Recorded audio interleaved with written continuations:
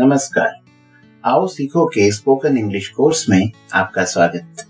इस वीडियो में मैं कैलाश शर्मा आपको सिखाने जा रहा हूँ कि हम अपनी हॉबीज यानी अपने शौक के बारे में और अपनी एम्बिशन यानी महत्वाकांक्षा के बारे में कैसे किसी को बताएँ। ये दोनों ही चीज़ें अपने परिचय का अभिन्न हिस्सा होती है इंटीग्रल पार्ट होती है और उससे इसे हम अलग नहीं कर सकते। पर जब हमसे कोई डिटेल्स फर्निश करने के लिए कहता है, हमारे बारे में थोड़ी और जानकारी प्राप्त करना चाहता है, तब हम अपनी हॉबीज और अपनी एम्बिशन यानी हमारे भविष्य के जो उद्देश्य हैं, जो हमारी महत्वाकांक्षा है, जो हम बनना चाहते हैं, उसके बारे में लोगों को बताते हैं। अब चलिए पहले बात करें हॉबीज की, यानी शौक की। तो शौक बताते समय हम दो वर्ब फॉर्म्स का इस्तेमाल करते हैं। एक है जीरंट यानी कि वर्ब का आईएनजी फॉर्म दूसरा है वर्ब का इन्फिनेटिव फॉर्म यानी टू वाला फॉर्म टू लगा करके वर्ब का फ़र्स्ट फॉर्म लगाना, यह कहलाता है इन्फिनेटिव और वर्ब के फ़र्स्ट फॉर्म में आईएनजी लगाना कहलाता है जीरंट दरअसल, जितनी भी हॉबीज होती है, वो सब किसी न किसी गतिविधि का नाम होती है। और नाम, यानी नाउन और नाउन बनाने के लिए हम वर्ब को आईएनजी फॉर्म में कन्वर्ट कर देते हैं। जैसे कि हमने कहा कुकिंग अब कुकिंग एक गतिविधि का नाम है, एक शौक का नाम है। इसी तरह से हमने कहा प्लेइंग अब प्लेइंग के साथ आप गेम जोड़ दीजिए। प्लेइंग क्रिकेट प्लेइंग फुटबॉल अब ये हुआ नाउन यानी हम कहना चाह रहे हैं, मेरा शौक क्रिकेट खेलना है। तो अंग्रेज़ी में हम कहेंगे my hobby is playing cricket दूसरा तरीका हो सकता है आई लाइक प्लेइंग क्रिकेट या I like to play cricket तो टू प्ले जब हम बोलते हैं तो वो इन्फिनेटिव फॉर्म हुआ, और जब हम प्लेइंग क्रिकेट बोलते हैं तो वो जीरन फॉर्म हुआ। और इन दोनों तरीकों से ही हम अक्सर अपनी हॉबी के बारे में बताते हैं।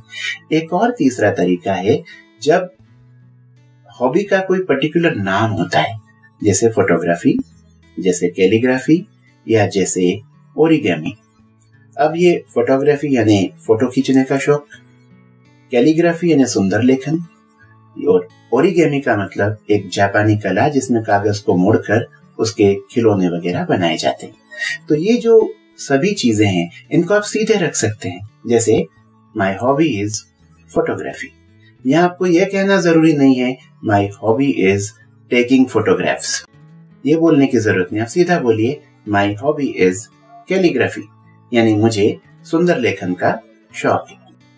अपने शौक के बारे में बताने के साथ साथ कभी कभी हमें अपनी एम्बिशन के बारे में भी बताना होता है। जब लोग हमसे पूछते हैं what would you like to be यानी कि आप क्या बनना चाहते हैं? भविष्य में बड़े होकर आप क्या बनना चाहते हैं? और अगर आप बड़े हो चुके हैं तो आगे चलकर आपका अल्टीमेट टारगेट क्या है? आपका लक्ष्य क्या है? यानी कि आपकी एम्बिशन क्या है? महत्वाकांक्षा क्या है?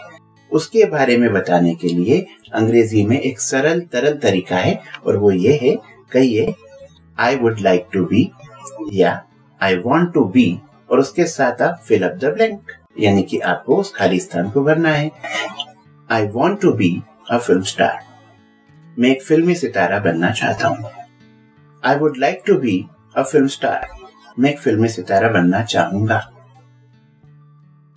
इसके अलावा एक प्लेन तरीका और है, सीधे कहिए my ambition is to be the prime minister of India मुझे भारत का प्रधानमंत्री बनने की महत्वाकांक्षा है। मेरा उद्देश्य है भारत का प्रधानमंत्री बनना। अब आपको प्रधानमंत्री बनना हो या पियून बनना हो। आपको मंत्री बनना हो या संतरी बनना हो, आपकी एम्बिशंस बदल सकती है। परंतु उसको बताने का तरीका बहुत सीधा और सरल है। कहिए आई वॉन्ट टू बी और वहाँ पर वो महत्वाकांक्षा रख दीजिए जो आपकी वास्तव में है। दरअसल, अपने बारे में जितनी डिटेल्स आप फर्निश करेंगे, जितनी जानकारियाँ आप लोगों को देंगे, उतनी ही जानकारियाँ लोग अपने खुद के बारे में आपको देंगे। इसलिए हम ये बात अच्छी तरह समझ लें कि परिचय एक बहुत महत्वपूर्ण चीज़ है और उसमें कई चीज़ें शुमार होती है और उन छोटी छोटी जानकारियों के आदान प्रदान से परस्पर विश्वास बनता है और परस्पर रुचि डेवलप होती है।